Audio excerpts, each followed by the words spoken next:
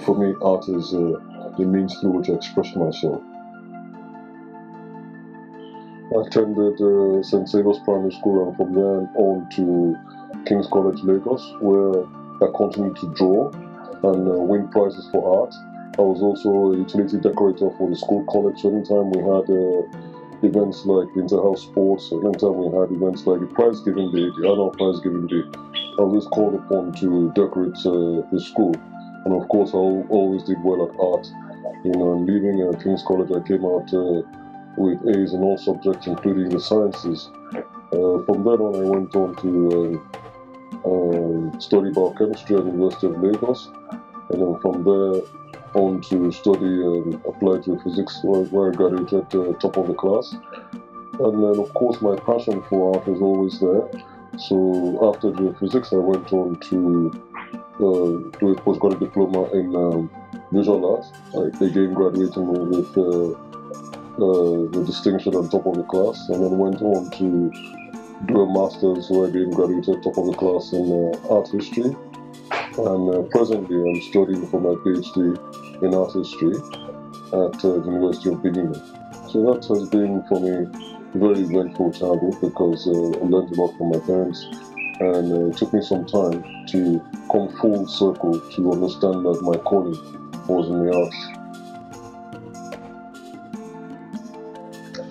Well, my private collection uh, features uh, a range of artists from Gary Stevens to Ebenezer Akinola to Wallace Edjo. Gary Stevens, an American uh, artist who's based in South Africa, but his work resonates very strongly with uh, uh, Africa. I have a few Benin ones myself.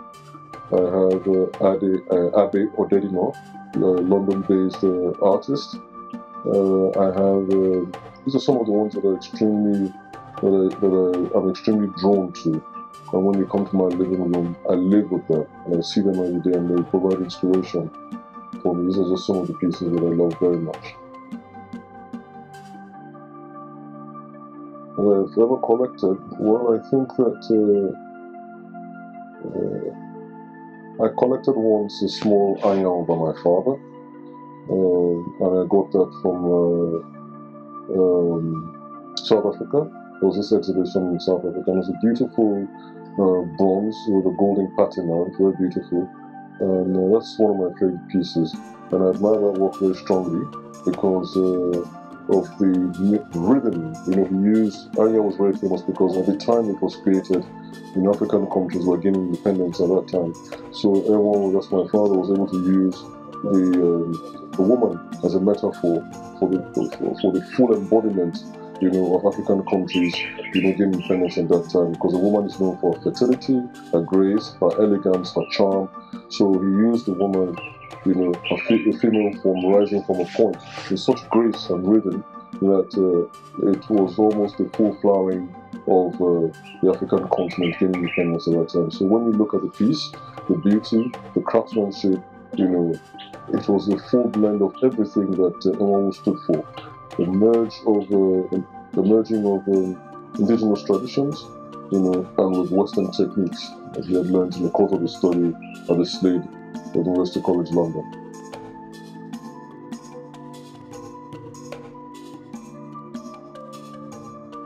I'll say Tutu by Ben Enwonwu because uh, for me it's like the African Mona Lisa, you know, and for me it's, it's uh, Africa's response to Mona Lisa.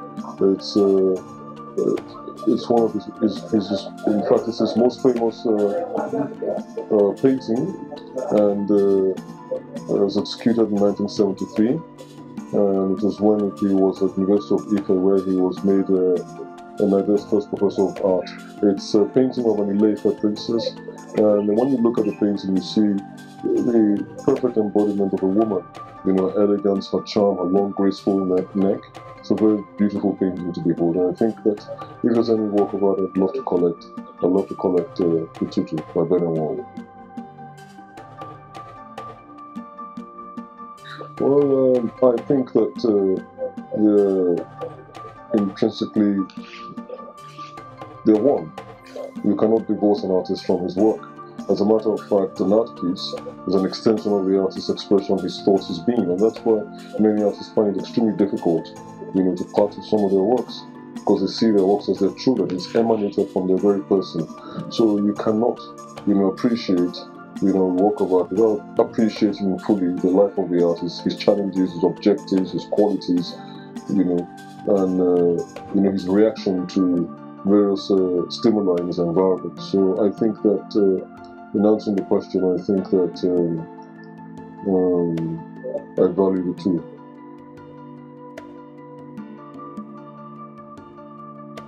I think it's an excellent investment because uh, um, I think it, if when you go internationally to all the uh, to what's going on internationally, so much global attention has shifted to African art now, and most of the collectors, especially the international ones, see the entry price for collecting African art extremely low. So for any investor, every any investor wants to buy something cheap and sell you know, much later on internationally. For, for the quality of art you're getting, the prices are still relatively low, despite the fact that on international market, you know, there's beginning to be staggering prices for African art, but it's still relatively low compared to, you know, especially an artist of a particular ilk or status, you know, his own his own um, counterpart in the international scene.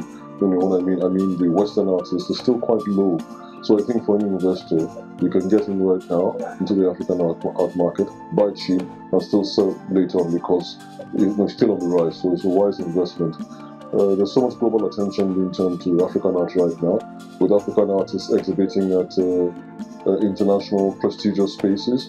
You know, most of them are getting uh, great museum shows now. Most of them are being, most of their works are being presented at major biennales and uh, and, uh, and uh, art fairs. So there's uh, so much attention to African art right now, and I think that it's because you know we've gone through this colonial experience you know so we've been able to merge the best of western techniques with our own indigenous traditions and the result has been uh, an art that uh, is uh, very original because it's almost like African art is taking the best out of two different worlds, you know, its own indigenous traditions and its own roots and the very best of Western techniques. So it's it's come full circle, and uh, I think that critics all over the world and scholars all over the world, you know, have no no um, choice but now to pay attention to African art.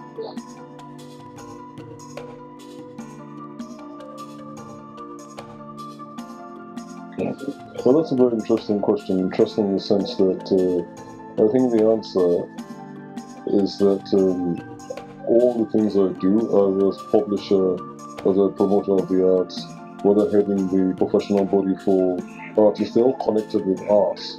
You know, and for me, you know, my involvement is uh, it's almost seamless. You know, for instance, around a gallery, when we have exhibitions for artists, I also write catalogs, I also research into their work and researching into their works in writing text for the catalogs, you know, we hold interviews with them. You holding interviews with them, then some of this content goes into publishing not only a catalog but also goes into publishing, you know, magazines on them. You know, so and for an online platform as well. So you can see how they kind of relate, they interrelate, and each one it's almost like um, like a machine each part is very significant to the whole. And uh, for me, you cannot uh, separate them because in promoting an artist's work, you know, you have an exhibition for an artist, for instance, you want an accompanying catalog because after the event, you know, the catalog that remains as a document of the exhibition. You know, so I put in my best, not only in seeking artists, working with them, exhibiting them, but making sure that accompanying critical text, you know, is with their work. So that's very important for me. They all work together.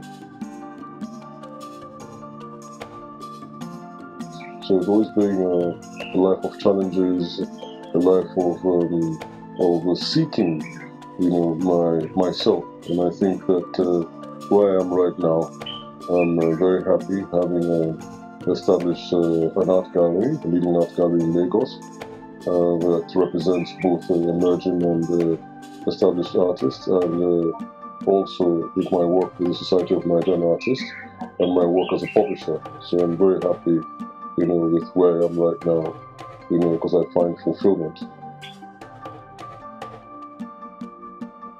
Um, my childhood was very uh, interesting, I'd say, because I grew up um, being the son of a famous uh, artist. When I was very young, we didn't quite know. That's when I say we, I mean myself and my, my siblings and I. We didn't quite know how great our father was until we got into secondary school and we started studying him at school. But I remember growing up the smell of paints and canvases around me. It was very interesting, very interesting experience. Well, I'd say first of all, my father inspires me uh, because uh, uh, in his works, you don't have to look twice. You don't have to look for a signature before you know these are his pieces. And I think that's a very important thing that an artist can develop his style in such a way that it's so recognizable, even when it's across different media.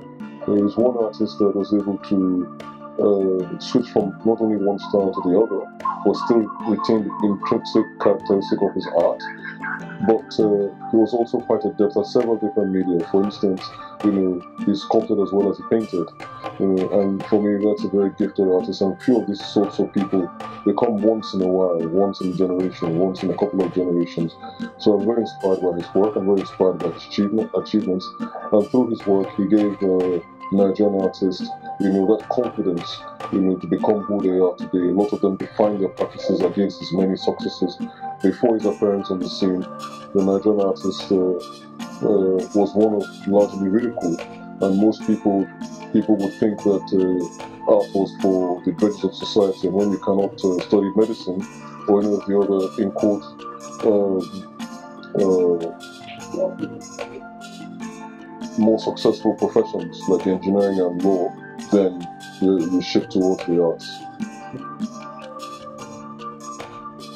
We learned a lot from our father, you know, because he was uh, born with an excellent spirit. He always believed in, you know, doing things in an excellent manner. Just always give your best to it. So whatever you did, always make sure that you did it with pride and dignity. My mother was very supportive, especially with our academic work and uh, both parents were extremely hardworking. I think those are some of the elements that we've been able to imbibe growing up as children. You know, as an artist, I've been kept on learning every day. So for me, I keep learning, I keep absorbing from lots of people, younger older people, and it helps me to fine tune my strategies in making sure I achieve my goals and objectives. Um, for me, it's it's not. Uh, from I'm not rigid about my environment. Depends on my mood. If um, I want to uh, sip a glass of wine at that time, then I do so. You know, if I want to be in solitude and I want peace around me, then I do that. You know, but if I want light, soft music in the background, maybe classical music or an eclectic mix of music while I'm working, just to feel in the mood to inspire me, you know, then I can do that. You know, then even listening to music also depends on the kind of music. If I'm thinking of dance to, you know, I'll probably play um, maybe Fela, but if it's something that is very introspective, know, I'll play uh, Mozart or Beethoven. So it depends on uh, um, the mood at that time and what uh, uh, my creativity requires at that time. Well, I draw inspiration trying to outdo myself. Um, I try not to rest on my oars, and it's something that uh, I learned from my father because he'd always say, you know, you cannot uh, achieve perfection, but you can keep striving towards excellence. So even at the height of his career, even after he had become so world famous and all that, he kept saying that he was still learning, you know. Well, I think that it's going, it's growing at an alarming rate uh, everyone's very joyful of that. But I think that uh, we could do with uh, the National Gallery of Art where we house the nation's uh, very best, you know, not just administrative offices as presently exist. I think that change will bring a lot to Nigeria because people will begin to see the full potential of Nigerian art.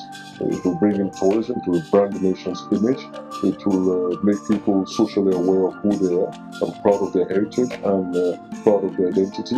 And with that, um, rates of crime will drop because people will now be proud of who they are, especially Nigerians. And I think that with that, lots of investment will come into the country. So I think that it's very, very important, it's very imperative right now that we should have a beautiful edifice that can house the works of our contemporary artists working in Nigeria today. This is Ramati Art Africa.